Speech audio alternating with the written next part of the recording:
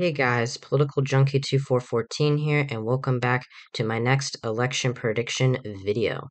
So, uh, yeah, it's uh, September 2nd at the time I'm recording this of uh, 2022. We're going to be doing an updated look at my 2022 US Senate predictions. This is going to be my ninth prediction. We are getting so close to the midterms. We've got like what is it, sixty six days? Yeah, we we're about uh, sixty, a little under sixty seven days away from the midterm elections. They are getting extremely close. Democrats are doing very well so far. I hope you all are having a great day. I should say that first. Make sure to like and subscribe. Uh, check out my non political channel, Interactor One Two Seven, and my comrade Growling Zoo Six Six Six. And uh, yeah, let's get right into it. So Democrats have been doing very, very well recently. Uh, if you haven't seen it or you haven't heard about it yet, um, Democrats just won in Alaska. Mary Peltola defeated Sarah Palin. I made a video about this yesterday. And yes, it was because of ranked choice voting, but this is a flip for the Democratic Party in a state that they have not been able to win for 50 years. Don Young, the incumbent Republican, had held this seat, um, you know, from 1973 until this year when he sadly passed away in March. And yes, it was ranked choice voting. I think that that certainly helped Peltola. But the thing is, wouldn't you expect a lot of people to have put Nick Begich as their first choice and Sarah Palin as their second choice? Yes, she's unpopular, but if it's so, it's if it if it's so a so-called red wave year, why why did you know Mary Peltola get second place? Well, it's because Palin's unpopular. It's because Alaska is a super pro-choice state, and she clearly has a way to um, emphasize with voters. And when you know this is a flip for Democrats, I think that it's going to be a very tight race in Alaska in November. Of course, the Senate election is going to be a little bit different because you know it's between Murkowski and Tshibaka, which we'll talk about in a minute. But Joe Biden's approval has been up on the rise. He is now officially more popular than Donald Trump was at this point in his presidency. You know, he is just down by 10.1%. I, I'm just seeing this right now because I, um, I looked at, I've been checking on his approval. I haven't checked on it yet today. You can see that he's four points ahead of Trump now. And he's been rising and rising. You know, he's been making speeches. He made that speech last night in Philadelphia. Um, and, you know, he, he's getting back on the campaign trail. He's really starting to help Democrats. I don't think he's going to be approved of on election day, but he could very well be close to that. So yeah, things are looking on the up and up for Democrats. Republicans just lost Alaska. Yes, it was due to ranked choice voting, but Mary, Mary Peltola should not have gotten that many Nick Begich voters to put her as their second choice. And uh, yeah, this is gonna you know look like a very good map for the Democratic Party. Um, you know, I I will admit that you know this might some of these predictions I'm a little unsure about, but you know I'm getting to a point where you know we are constantly underestimating Democrats in these House special elections. And yes, this is a Senate election; it's statewide. But you know when you look at Mandela Barnes in Wisconsin and you look at Cheri Beasley in North Carolina, while they both may not be doing the best you know, Mandela Barnes is, of course, doing better than Cheri Beasley. I'm becoming more and more hesitant about, you know, doubting on them because we have doubted on Democrats in a special election after special election, and the Senate I think is no longer a toss up. I think Democrats are outright favored right now. You know, Republicans can still win the Senate, but their choice of candidates and you know their their decision, the Supreme Court's decision to overturn Roe v. Wade has really really hurt the GOP. So let's get started. We're going to fill in the safe Democratic and Republican states. These are states that are going to go to either party by you know over uh, 15 percentage points. Really, um, you know, these are the uh, safe states have very little chance of going to the opposition party. And uh, I'll talk about a couple of these in a second. Uh, so, um, first of all, in the state of Washington, I'll talk about this one. This one was considered to be slightly competitive, you know, for uh, a little while. You know, Patty Murray has had a history of um, underperforming. She only won by four points in 2010, but she did under or five points in 2010, but she did overperform her polling average by about uh, four points. Uh, Dino Rossi was a very good candidate, and um, you know there was a really good chance that Republicans flipping Washington. Uh, Murray did a lot better in 2016, and I do expect her to win again. The po- the uh, open primary in Washington really, you know, just showed a really bad sign for Tiffany Smiley. This race was never going to flip anyway, but it was getting, you know, surprisingly close back a couple months ago. I really, you know, this is probably going to be the last time I talk about Washington until, you know, it starts to narrow up again because, you know, other states are narrowing up and Washington is, you know, I've had it as safe for a while. I did start off my prediction history with it being likely, but It's uh yeah, it's it's staying that way. Murray leads by uh, 13 points on average, but she's outperformed polling expectations before. She is not the most popular Democrat. She's been in you know the Senate for a very long time, but she's still going to win regardless. In Utah, you know, I'm becoming more apprehensive about about Mike Lee, but I mean, you know, even though Utah's a traditionally Republican state and Mike Lee is very is relatively unpopular. You know, Evan McMullin, I really don't know if he's going to caucus with the GOP. I know he said he won't, you know, caucus with either party. I trust him a lot more than I do other politicians. You know, being an independent, he will get some conservatives to his side and some Democrats to his side. And so, you know, I did have this race originally as likely. You know, I think that, um, you know, there's a good chance that McMullin stays as an independent, but, you know, politicians don't always keep their promises. And Utah is going to reelect Mike Lee regardless. You know, Utah is Utah uh, does have, you know, Mitt Romney as a senator, and Lee is pretty extreme. He's, you know, he's very tied to Donald Trump.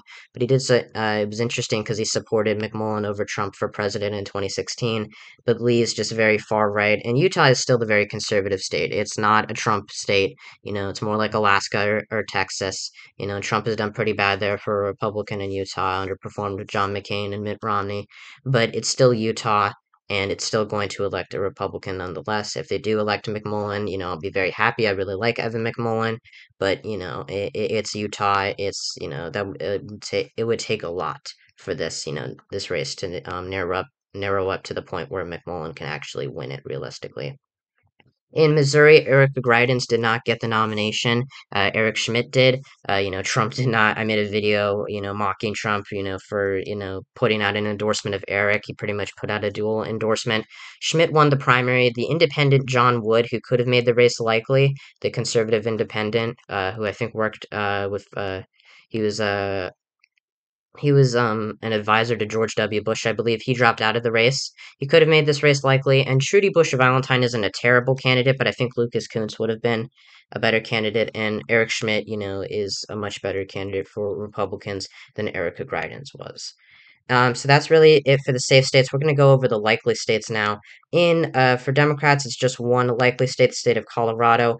Um, you know, Joe O'Dea is a good candidate for the Republican Party, but Michael Bennet has been able to outperform expectations before. He did underperform in 2016, but in 2010 he was trailing Ken Buck in a lot of these polls, and Ken Buck was a pretty bad candidate, and yet he still was able to win in a in an environment that was a lot redder than 2022 is going to be. You know, 2022 should be like 2010. Honestly, it should be redder, but it just simply isn't because we're much more polarized nation and Republicans have really shot themselves in the foot in, in a lot of these races. Colorado, they have a good candidate, but Joe O'Dea, uh, you know, he's going to do well in the suburbs or uh, the Denver suburbs. He's going to do a lot better.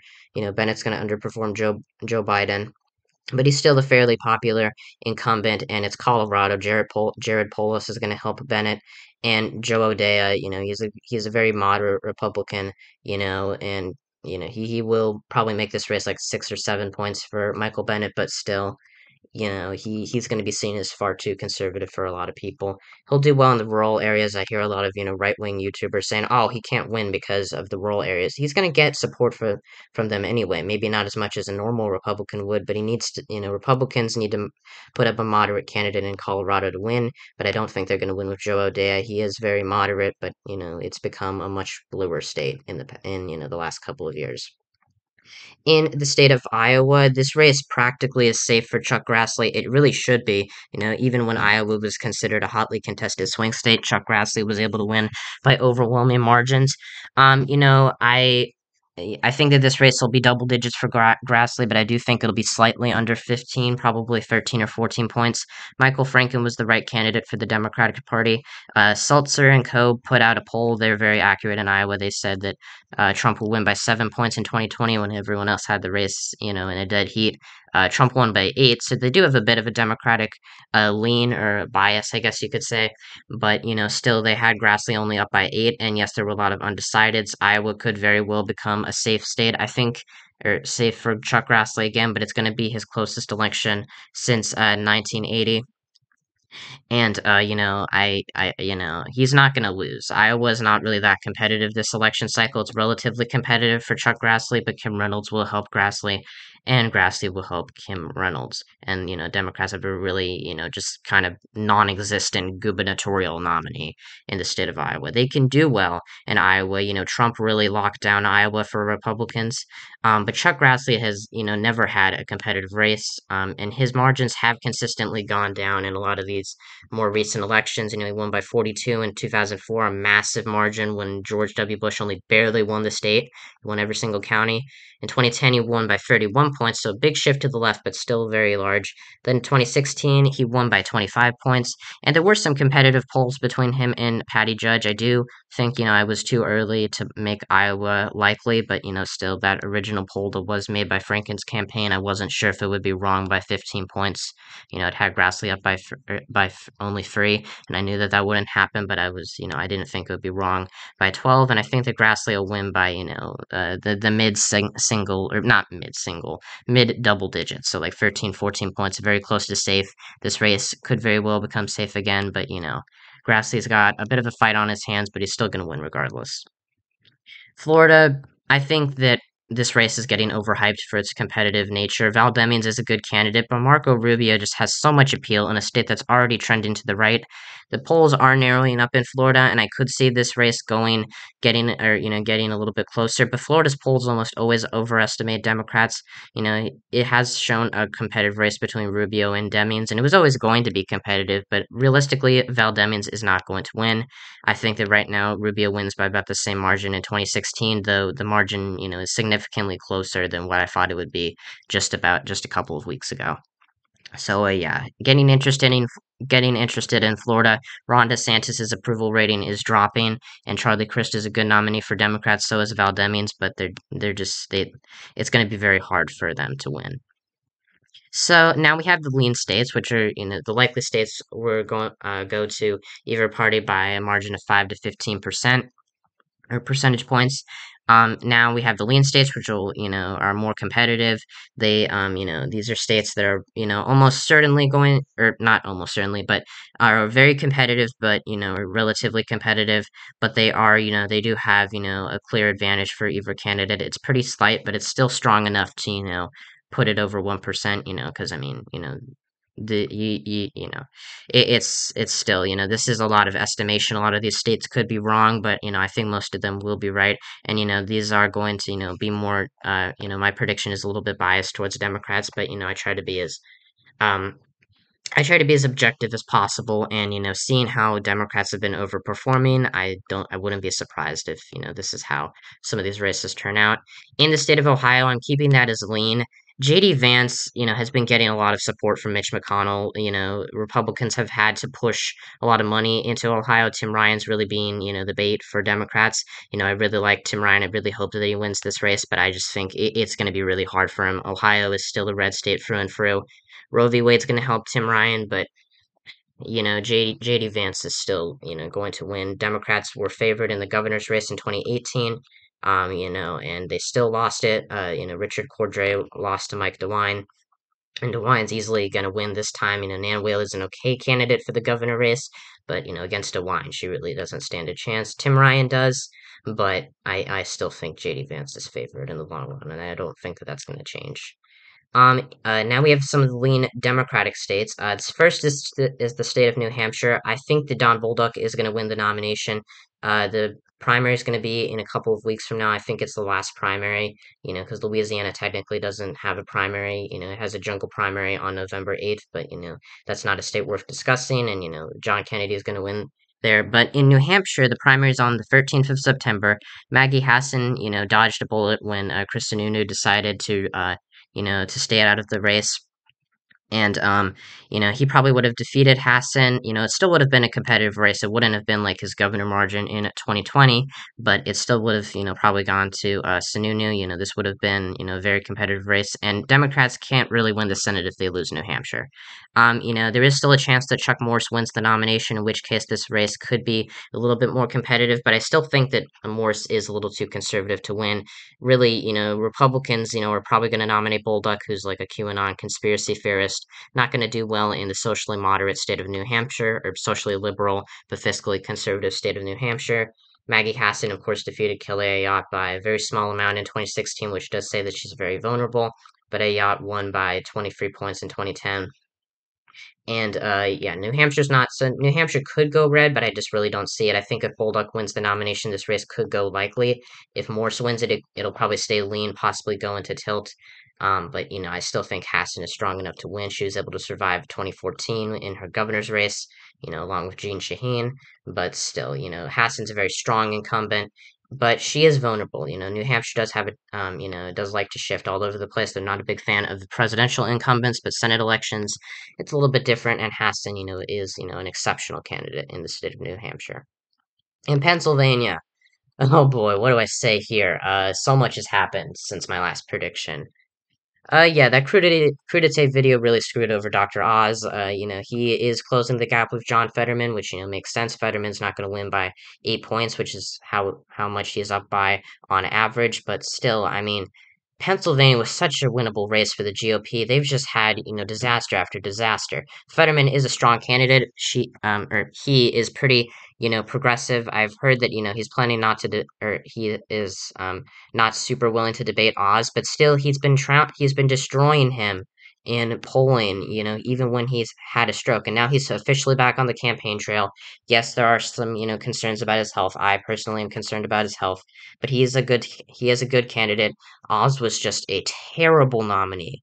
Terrible. And I've heard rumors that Kathy Barnett's going to stage a write-in campaign, you know, and I, I just, you know, I, I really think that, you know, Republicans really, really messed up in Pennsylvania. If Pat Toomey was running again, he probably would have faced a primary challenge had, you know, had he uh, still voted to impeach Trump, which I don't think he would have, you know, because it's different when you're running for reelection. You know, you you more you're more likely to vote your conscience when you know you're not you're not uh, running again. Um, but you know, Pat Toomey probably would have won against uh, John Fetterman. Uh, Kathy Barnett would have you know gotten destroyed. Um, but you know, at least she has you know a bit of a base. Elite, you know, she's a lot more extreme than Doug Mastriano. But you know, Mastriano is going up against Josh Shapiro in the governor's race. I'm going to talk about that tomorrow in the governor prediction. Um, David McCormick would have wiped the floor with Fetterman. You know, he, he it would have been a close race. Don't get me wrong. Democrats would have still been eyeing this race, but it would have been so so hard for them to win because McCormick was such a good candidate, and that bruising primary. You know, I, it was you know problem after problem for Oz, and now that he's in the general, he just cannot catch a break, and now he's insulting John Fetterman. You know, for you know he he claims you know that he hasn't eaten if he ate a vegetable ever in his life that maybe wouldn't have had a stroke which is just you know put putting politics aside is just so rude and so unethical and you know he very well could win this is still a very competitive race but you know, he Republicans really screwed themselves over in Pennsylvania. They're not giving Doug Mastriano money. They're, you know, they're, um, signs. You know, it looks like that there are some signs that they're just gonna drop out of this race. You know, it, it's it's really just really hard for Republicans to win here in Pennsylvania right now. But it is going to be competitive, and Oz still could win. In Arizona, Blake Masters, a terrible candidate as well, not as bad as Oz nearly. Um, not nearly as bad as Oz, but you know he is a very far right candidate. Of course, you know he his former boss Peter Thiel is, um, you know, helping him fundraise his campaign. Thiel does not believe in democracy, or you know, he said that he doesn't like the fact that women are allowed to vote. Masters has tried to moderate his positions on abortion. In Arizona, you know, I think Kari Lake will do better than Blake Masters, but we're comparing apple apples to oranges in terms of electability. You know, Katie Hobbs is really going to make that race really difficult for Democrats to win, but you know, I still have them favored. We'll you know talk about that tomorrow. Mark Kelly is a very good incumbent. You know, I think that he's going to win by around two points. You know, yes, he underperformed his polling average, but he's up by more than he was on election day 2020. Well, he's up by more now than he was on election day 2020. I think that this race will be closer, possibly.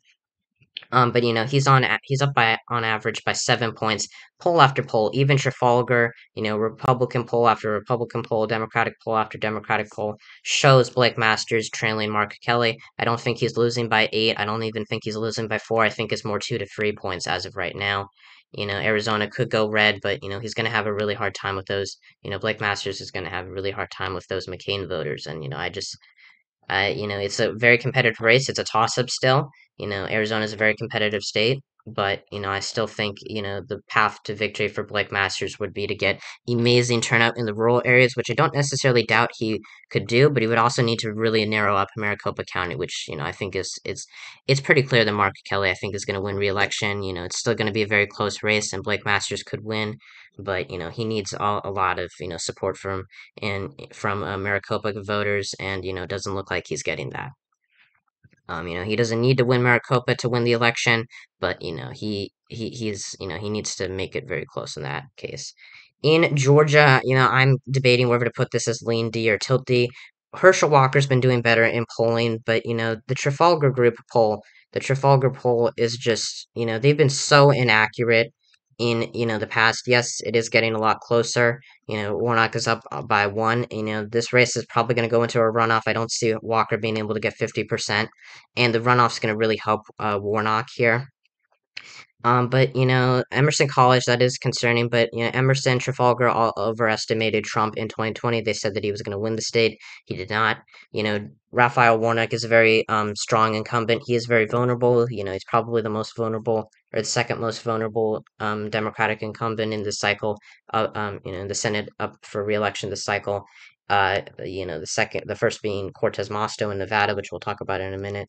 You know, but I think that you know, Walker just has, you know, he is doing well in polling, but he's just, you know, he has gaffe after gaffe, and he's just, you know, I feel bad for him, honestly. You know, if he does get elected, I wish him the best, but I do not want Herschel Walker to be the next United States Senator from Georgia. He would be a new low in the U.S. Senate. You know, I, I, I just really think, you know, he doesn't know what he's talking about. And, you know, I feel bad for him because, you know, I know it's from all those football injuries, you know, that that's my suspicion is, you know, his and the allegations against him for fathering children with women that weren't his wife and you know for abusing his uh his uh, ex-wife you know it's just it's it, it's really damning. You know warnock's going to get very good turnout. It's going to be closer than 2020 uh the 2021 runoff with warnock and uh Loeffler and Loeffler but i still think that Herschel Walker's pathway to victory, you know, is you know it's it's narrowing up. You know, Georgia is narrowing up, but Warnock has a very strong lead, and he's had a strong lead for a very long time. And these polls, you know, do tend to overestimate Republicans. Trafalgar said that Kemp would win in uh, 2018 against Abrams by 12 points. He only won by one, so big overestimation there. They said Trump will win the state in 2020. Of course, Biden narrowly won it. So yeah, you have to, you know, it, it's really looking like a really hard pathway to victory for Herschel Walker right now, but it's still possible. Georgia's going to be very close, but I think it's going to go into a runoff. So as of right now, you know, you see the Democrats have now gone into 50. So if there is a tie, uh, Kamala Harris, uh, Vice President Harris, would uh, break the tie. But uh, that's not all. So um, in the state of North Carolina, I'm having a bit of, you know, internal qualms about because North Carolina is not a super pro-choice state. You know, not like New Hampshire, not like, uh, you know, not not like Pennsylvania or Wisconsin you know, and this race is getting closer. You know, the 538 average now has Budd up again. This race is really narrowing up. But after the Alaska result, and, you know, even though North Carolina polls do overestimate Democrats, you know, I you know, I think that Cheri Beasley has a very good chance at getting a lot of black turnout and winning, but I think that Ted Budd is a very good candidate. You know, he's he's kind of a generic Republican with just, you know, a very crazy voting record. You know, Pat McCrory was definitely, you know, the wrong choice for Republicans. And, you know, I think, you know, they made a good decision with Ted Budd, but they really need, you know, they're going to need to start investing in this race if it, you know, continues to be this close. So right now I'm going to put North Carolina as a tilt state. I think it'll be just under 1% for Ted Budd. You know, I, I think Cheri Beasley very well could win. I think it's the most possible that it's ever been. You know, North Carolina's really evolved on my map. I've had it, you know, as, you know, I originally had it as likely, then it was lean, and now it's tilt. I'm just like a little bit away from putting it as a Democratic state. But, you know, in Alaska, you know, that result was due to ranked choice voting. And, you know, it, it is a very good sign for Democrats, but, you know, the question is, will it translate into a state that's a lot less pro-choice than Alaska, but still is bluer? Uh, we'll just have to wait and see. Right now, I still am very hesitant about this race, but I'm putting it as tilt Republican for Ted Budd. In Nevada, Cortez Masto and Sisolak have been struggling in Senate and governor elections. Laxalt's definitely a good candidate, but his views on abortion are going to hurt him. Uh, you know, they, we've been got we've been getting a lot of new polls out of the state. Trafalgar, which predicted Trump will win the state in 2020, uh, you know, has Laxalt up by three. I don't know how much I believe that poll. Cortez Masto ha- has been, you know, struggling to get over 50%, but still, Nevada polls do typically underestimate Democrats. It's one of the few states where that does routinely happen. It didn't happen in 2020. And with Nevada's, you know, the, with the Las Vegas, um, you know, economy, you know, pretty much revived, you know, you know, Biden was still able to win the state by the same amount as Hillary in uh, 2020 you know, it was still possible that Trump would win the state, and you know, he knew that if he didn't win Nevada, he wouldn't win the election. But still, you know, he he you know kept his hopes of winning the presidency alive, but he still needed other states, and so you know he campaigned there, but he needed you know Wisconsin, Michigan, Pennsylvania, and so I think you know Nevada is very close. I had it as lean, uh, you know, just a couple of days ago, you know, in between the predictions because I changed them, you know, in between predictions, but you know, it's still going to be very close, still a complete toss up, but abortion is going to help Cortez Masto. She's very strong with Hispanics, and you know it, it's it's going to be very close. But I think that uh, she has a very narrow advantage right now. And finally, in the state of Wisconsin, this race has gotten so so close so so fast. Ron Johnson, yes, he is a controversial but yet, you know, strong incumbent. I talked about, you know, I kind of feel bad for doing my video so early, you know, before a lot of these new polls came out. But Mandela Barnes is doing very well in polling, and I know it's Wisconsin. It's set, you know, the polls there said the Biden was up by eight on election day, and he won by zero point six. You know, I, I, I get it. I get it. It, it polls in Wisconsin almost always overestimate Democrats. But Trafalgar, if you look at this poll, let's let, us go to this poll. The party participation, Republicans have a two point lead over Democrats. But the Mandela Barnes has a two point lead over over Ron Johnson. Now, I don't think he's going to win by two. I don't think he's even going to win by one. If he wins at all, it's going to be very, very close. But we're getting to the point now where, you know, I, I can't really keep underestimating Democrats. And polls in Wisconsin were very accurate in 2018. You know, I harp about how I think Tony Evers is not that inspiring of a candidate. And, you know, Barnes is overperforming him in the polls, which is not something I, I expected. But Evers, you know, was expected to win by one in a Research Co poll. He won by just that against Scott Walker. In uh, the Senate election, Tammy Baldwin, Research Co., said that she would win by 11. She won by that. So polls in Wisconsin, you know, really, you know, Johnson, you know, he did, yes, he did over estimate, you know, or he did overperform the polls by a lot in 2016. But he doesn't have the Trump effect to help him. You know, the the polls in Wisconsin have you know really started to go downhill in 2016 and 2020, and they were pretty accurate in 2018. Yes, Evers should have won by more, and you know it was a pretty you know, but still, they were still spot on in both the governor and Senate races. And, you know, with Democrats, you know, getting, you know, to a point where, you know, they're flipping Pennsylvania, they're doing so much better nationally. They just flipped Alaska. Yes, it was because of ranked choice voting, but Mary Peltola should not have gotten that many second place, uh, second choice votes from uh, all those Nick Begich voters. I am, you know, very, you know, apprehensive about Wisconsin but I'm giving it to Mandela Barnes. I have underestimated him.